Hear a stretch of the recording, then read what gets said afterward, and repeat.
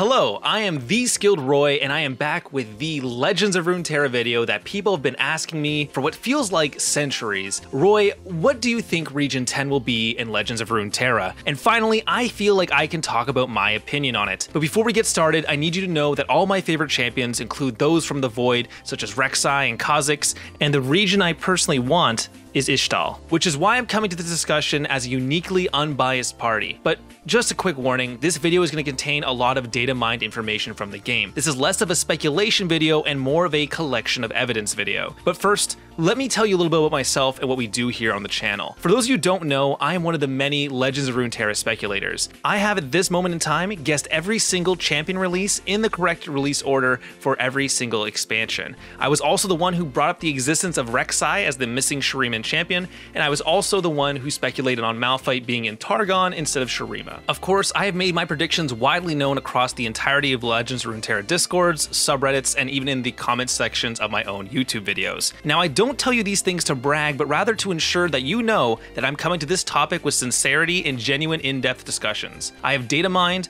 researched, and scoured this topic for a little over a year now, and I think I finally have the answer to this. If you'd like to see my track record, I've linked in the description of this video, as well as a link to my Discord where I often work with you guys to figure out patterns and release windows. So, what do I think Region 10 is going to be? Well, I think it's important to realize that because the debate has been going on for so long as Void versus Ixtal, I think we're going to start looking at some common assumptions that are gripping the player base and address them. I'm not going to take a side yet, I'm simply going to talk about some of the leaps in logic that I see a lot of the player base engaging in, and if you see this, you can now have a counterpoint to it because these are all sort of equally applied across each of the different regions. So, Assumption number one X champion is in the game already, they wouldn't do Y region without them. This was the original logic used to eliminate Bandle City from contention. The logic goes, they wouldn't do Bandle City without Teemo or Lulu. Today, we see people who speak about the Void use this logic to eliminate Ixtal. After all, they say they wouldn't do Ixtal without Malphite. However, it's important to note that with Rek'Sai coming in Expansion 3 of Shurima,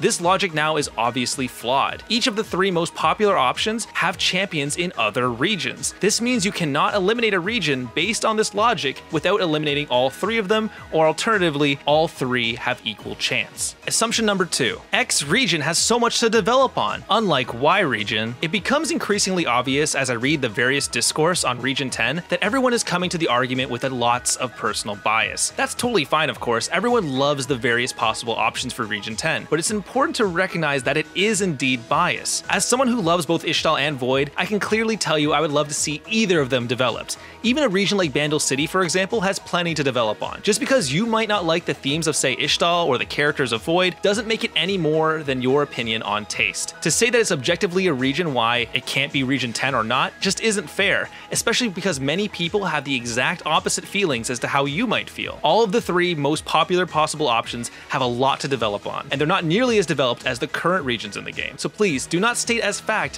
what region has more or less development, as it often just evolves into personal taste more than anything else. Assumption number three they can't put champions into X region because X region is closed off. This is actually a rather unique situation because all three of the most possible regions are regions that are largely closed off to the public. Ixtal is an enclosed society within a jungle, Bandle City is an enclosed society within the spirit realm, and the Void is, well, in the Void, which is not exactly welcome to people. Normally, I would use this same logic that I used in Fallacy 1, but go a step further. It's provable that the physical location of a region has nothing to do with a champion or follower's region. This is proven using Riven and Elise, two cards currently in the game. Riven, a former Noxian who abandoned her post and now fights Noxians in Ionia, is still considered Noxian despite her allegiance changing. Elise, however, is a Noxian who now worships and serves the spider god Vilemaw, and she is considered Shadow Isles. You can see how these two contradict each other. It gets even worse with their followers. Hapless Aristocrat is a Noxian who chased after Elise to woo her, but he is Shadow Isles. Brutal Hunter came to Ionia to hunt down Riven, yet is still Noxian. The developers of Legends of Runeterra have chosen their champions and followers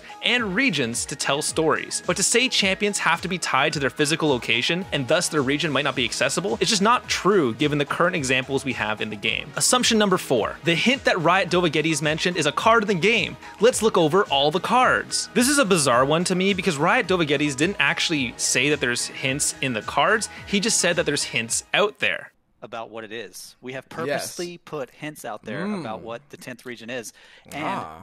to my knowledge, no the biggest hint no player has ever found yet. I haven't seen it on Reddit, I haven't seen it in a tweet or whatever. So the truth is out there. Never does he actually explicitly state it's a card in the game, just that the hints are somewhere out there. Also, on the topic of these hints, we know it has to be a very old hint. Dovagetes in the chat in relation to the hint mentions that the hint is way older than 8 months.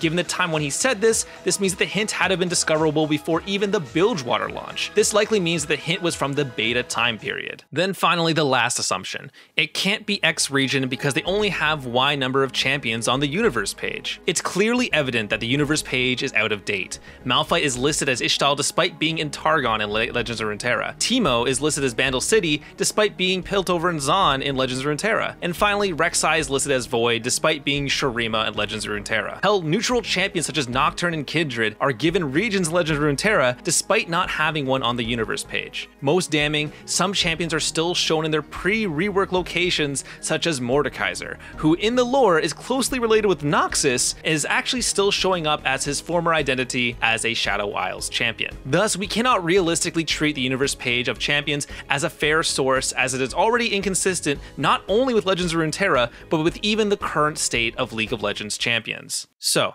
with those assumptions taken care of right off the bat, let me explain what I think Region 10 is. Please know again that as someone who loves Void champions and is a huge fan of Ixtal, I'm uniquely in a position where my bias doesn't blind me to the evidence. With that said, I think Region 10 is Bandle City. I know this is probably not what you want to hear, and I understand if you don't want to listen any further, but please, at least for posterity, I want you to show the evidence so that you might at least consider that Region 10 isn't just between Void and Ixtal. So, let's start with something that you yourselves can find.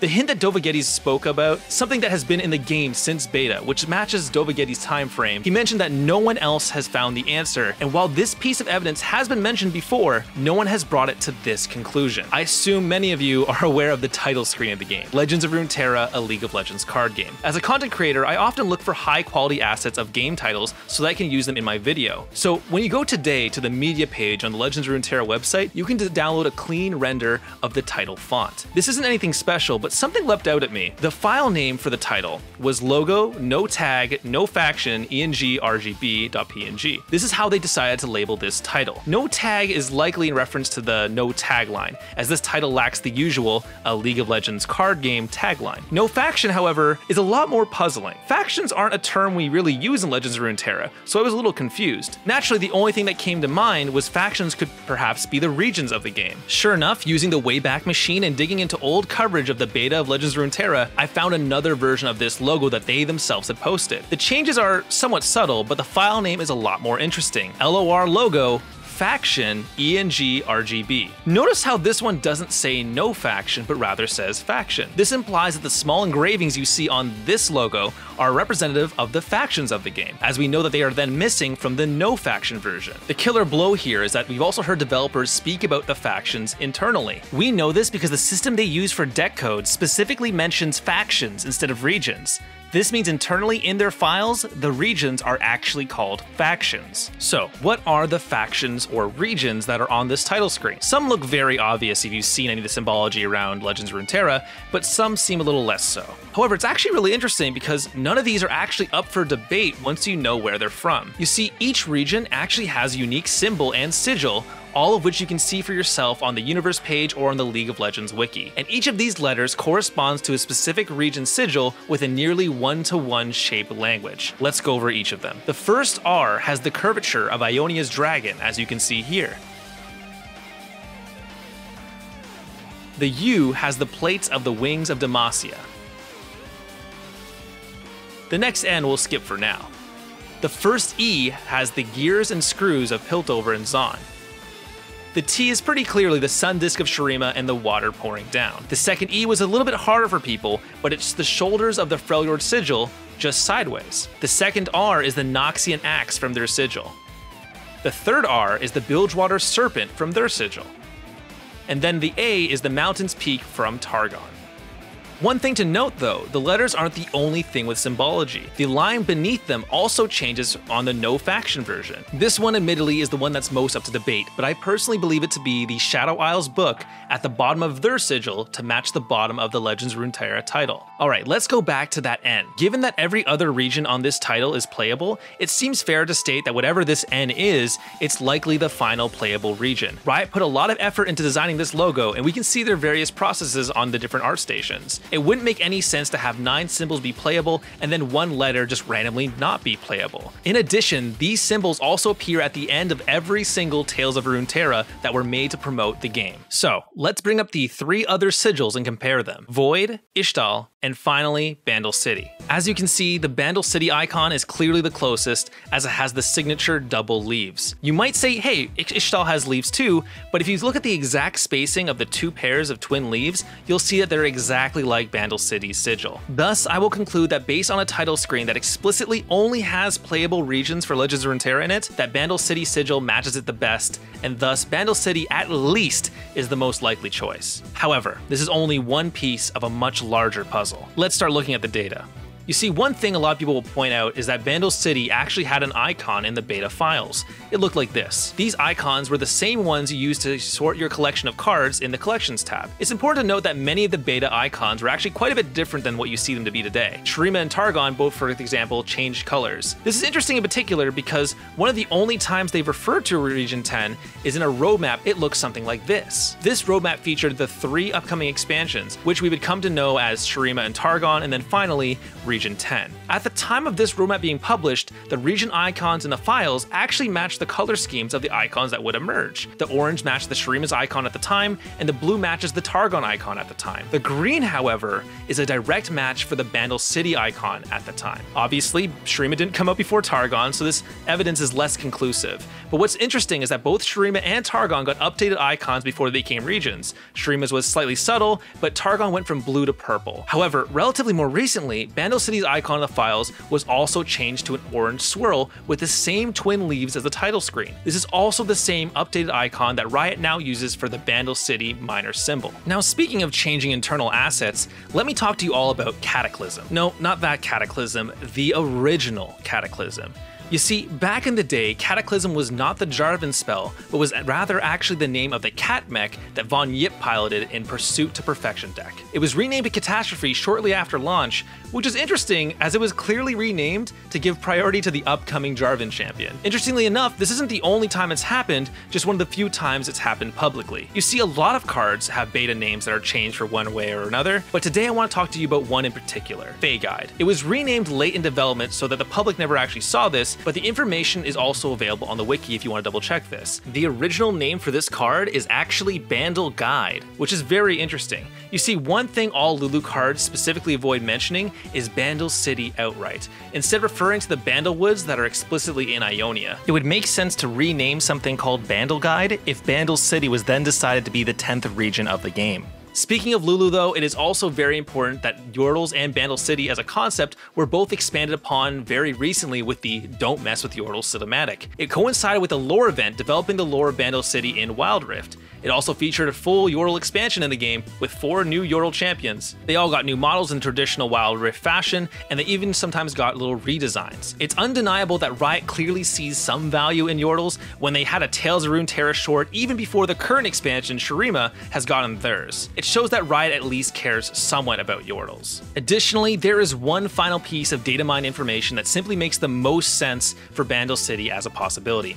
You see, the mechanic that has been done nearly in every single card game ever, and that is dual region cards. You see, a while back, they changed the location of the region icons, and a developer even stated that one of the reasons they changed it was for an upcoming feature, and then right after that, these were data mined from the game's files. The updated borders for the game's champions, followers, spells, and prismatics, all for dual region cards. Now, in my opinion, I think this would make a lot of sense for the various Yordles who are spread out across the world, such as Poppy, Kled, and Kennen, and they can all now become dual region champions. In fact, if you factor in all the various Yordles who are currently in other regions besides Bandle City, Bandle City suddenly will have the most champions compared to the other two options. Then, just like how they retroactively changed some removal spells to suit a new card type, or some buff spells to influence the new card types, they can then retroactively make Teemo and Lulu Bandle City dual region champions. And if this is still a little too far-fetched for you and you still don't consider Bandle City an option, well, Riot themselves disagree with you. You see, just recently, when Swim ran a poll for his audience of what region they thought Region 10 was going to be, either Ixtal or Void, Riot Dovagetes entered the chat and said, hey, why doesn't your poll have Bandle City? Then, also a while back,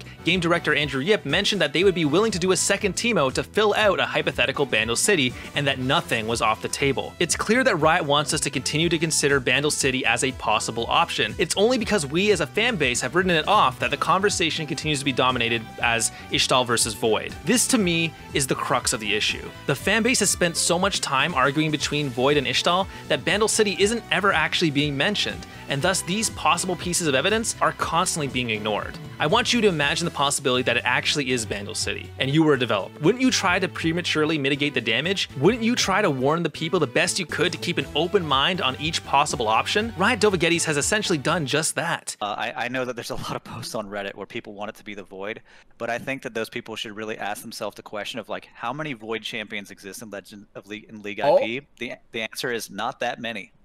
Um, And so Oh. if we do the void they should set themselves for the expectation that there's probably going to be a lot of not void champions in it if we did that. Or we might not do it at all because you know there aren't enough. And so i'm not going to say what it is. I'm just saying like there's a lot of people who who make like void they, they have all these predictions which is awesome. I love the prediction stuff about the void. But you know there are lots of Yeah. expectations that are building that people are building for themselves. And i'm like whoa like do you people not understand? There's only seven void champions and one of them has already accidentally leaked and not in the fifth expansion. So like you know you Swim initially was completely sold on Void, but moved to Ixtal. And then in a big Ixtal thread, Dovagetti spoke to the fanbase and explained that no matter what Region 10 is, your favorite champions and stories will arrive in the game. And this is the message I want to state to you all. If Region 10 is Bandle City, and it isn't Ixtal or Void, which the fans have been arguing over for the past year, I want you to know that they have made a commitment for all champions to make it in. Hell, even if Region 10 is Ixtal or Void, all of us have to understand that eventually all of our favorite characters will make it to the game. So even if it's not Ixtal, Void, Bandle City, or hell, even if it's a KDA region, we have to trust that Riot will come through on their promise. Hello, thank you so much for watching to the end of the video. Uh, I know this was kind of a uh, sort of controversial take, I know, on what Region 10 is going to be, but I really do believe it. Um, and just to show you that, how I'm going to do this is this. In honor of Region 10, if Region 10 is not Bandle City, I will be giving away 10 boards uh, to random people that are commenting in this YouTube video. I'll probably DM you to say, hey, what's your username? I was wrong. Here's your free board of either Void or Ixtal or whoever knows whatever Region 10 ends up being. Uh, that way you guys know I am dead serious about this. That's just over $100, I believe. Something, some amount. I'll calculate that later. I'll, honestly, big thanks to all sorts of people who've helped me with this. A lot of people have helped uh, build this theory up from the ground over the last year, and uh, I really couldn't do it without any of you. Like the amount of people who supported me in the chat, the amount of people who supported me in my Discord, people who gave me links to different interviews where devs mentioned certain things. Uh, big shoutouts to Swim as well for uh, largely driving the, the, the discussion recently, thanks to getting interviews with Dovagetes. Now, of course, I gotta plug my stuff in case this somehow does actually happen and I'm not just a crazy person.